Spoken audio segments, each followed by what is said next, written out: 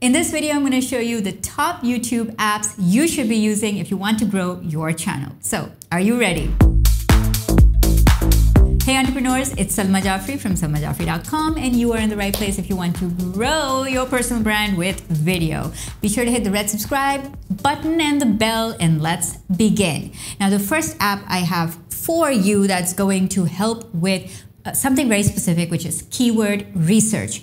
You must know whether your topics are going to be able to rank on YouTube. You must know whether your topics are going to be able to rank on Google. That is how you get found on YouTube when people don't know you yet. That is how you grow a beginner or even an intermediate channel on YouTube. And my top tool to do that is TubeBuddy. I do have a pretty nice tutorial on how to use TubeBuddy. I also have a discount code, which I'm going to put in the description down below, where you can get a discount on a TubeBuddy license. I also like to download the TubeBuddy app for my Android. I think it's also on iPhone. And of course, you can use all the features on desktop. TubeBuddy also comes with a ton of other resources such as templates and lower thirds.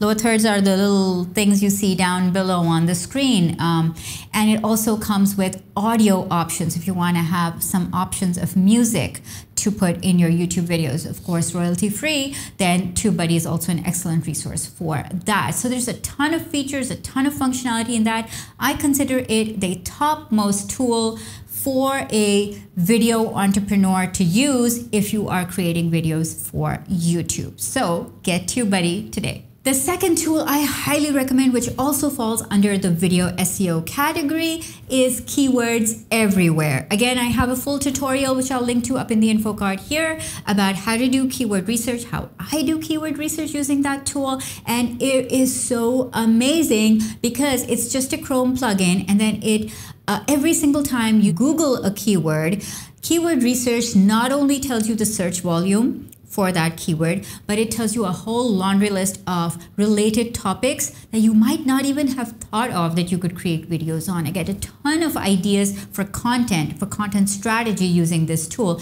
And I think, oh, you know, this might rank well, or this has the potential to rank well. So I use keywords everywhere to do my basic keyword research. And honestly, without that tool, I would not know what my audience wants in the exact terminology that they're using because that indicates to me the search volume for very specific terms that people are using to find my content.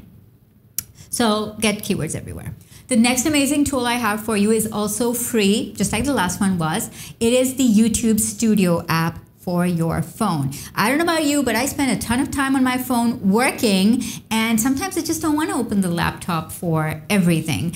And so if you have the YouTube Studio app, Download it on your phone. It's a great way to keep tabs on your channel. It's also a great way to see trends. I love using the feature that's the real-time views. So as soon as you upload a new video, you want to see how many views that that video gets and also what are the top uh, videos that are getting those real-time views. And you can identify trends. You can see growth. You can see what topics resonated with your audience like right away. And then there's also a ton of more um, features and, uh, and, and functions that the YouTube app allows you to access. For example, you can do uh, comment moderation right from the YouTube Studio app. You can check your revenue report. You can check your audience retention. You can check your SEO and what search terms people are using to find your video. So it is pretty rich, pretty full. It's my go-to app and could become your go-to app if you're a stats nerd like me. You can download it from uh, the Play Store if you're on Android or wherever on Apple. I don't know, wherever you download from. And then I'm going to put the link in the description as well. All right, the next app, or rather not app, I think it's more of a functionality of YouTube that I have for you is the YouTube editor. Now, if you have been following YouTube for a while, you'd know that they took away the editor and then brought it back better. So what I like about the new YouTube editor is that if you upload a video and you realize that you want to make a couple of changes, maybe you fumble the beginning or you want to delete something from the video, you can do that in the YouTube editor. So you can cut and remove. You can slice and take things out. This is especially useful if you do live videos. And let's say in the beginning five minutes of your video, you're just welcoming people in and you're saying hi and you're chatting. So for the replay viewers, that five minutes is kind of useless. So you can actually just take that whole section out. So when people come and watch the replay, they just get straight to where you start your content from. And so they're likely to stay longer and watch longer. So the YouTube editor is the, the functionality within YouTube that you can use to make minor edits and changes. You can even add a, a, a voice track or sort of an audio track on top of that. So you can do all of these small, small editing changes right inside YouTube itself. I think it's very valuable for beginners. So go and take a look at what all is inside there. The next must-have tool in my arsenal is Canva. Now, Canva is absolutely necessary for me to make attractive, professional, eye-catching thumbnails, and also it has a YouTube template that's so easy to use. And sometimes some of the free graphics in there are also very simple and easy to use. So what I like to do is make sure that I'm creating custom thumbnails for each and every video using Canva because I want to make sure that people click to watch my video because in the line of videos that come up when somebody searches for a topic, there's so many options. And one of the reasons they're going to choose your video is because you have an attractive thumbnail. So you can go into Canva and use that. And I have a full tutorial, which I'm going to link to up here on how to use Canva to make custom thumbnails. The next app I have for you or software I have for you is to help you to schedule out your promotion for your video in a way that you don't have to be doing it live all the time or in the moment. And that app is called RecurPost. So it kind of works like this. It's a social media scheduler and it allows you to plug in your content and send links out everywhere. So I can use it to promote my content on Facebook,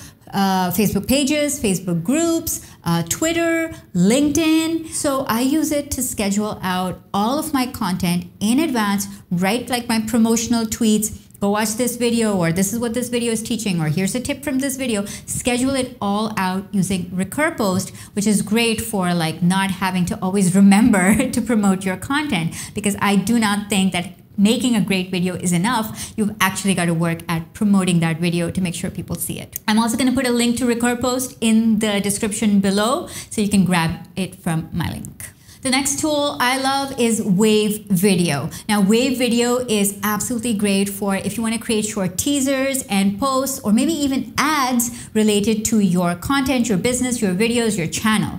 And the way that I really like to use Wave Video is to create content in multiple formats. So if I'm creating a square video, then I also want something vertical for Instagram, landscape for whatever, and square for LinkedIn. So they give all these dimensions, and it's really, really easy to create one video using um, stock images and stock videos from their library. And I think they have one of the largest stock image and video libraries of any tool that I have seen so far. And I have a discount code for you actually for Wave Video. So again, all the links are in the description. So go there, check Wave out and play around with it. I'm sure you're gonna love it. I would love to hear from you which of these apps is a must have app in your opinion something that works, something that you either desperately want or already have and love. Tell me in the comments below your favorite app. Finally, I want to talk a little bit about email. And you know from my previous videos that I'm a huge, huge proponent of using YouTube to build my email list. And currently, I am using MailChimp to do that. It was a great tool to start off with for beginners. I have reached a plateau with MailChimp right now, and I'm actually going to switch email providers soon. However, I still recommend MailChimp if you are a beginner. If you have one list, you can drive traffic to that. So you absolutely want to make sure you get on board with an email service provider such as MailChimp. It has free landing pages, free templates, a ton of free features, and it's absolutely free for the first 2,000 email subscribers. And I think it's a must have because every video should have something to do at the end. And if you can get people to subscribe to your email channel, so to your email list in, um, in exchange for a freebie, that's a great way to build your business. And having said that, why don't you subscribe to my email uh, subscriber list by getting my free YouTube Masterclass. It's a 30 minute class that teaches you the essentials of how to grow a YouTube channel. You can grab that from the end card or from the link in the description and go and watch that. Remember to go after what you want and build a brand you love because you can be the media.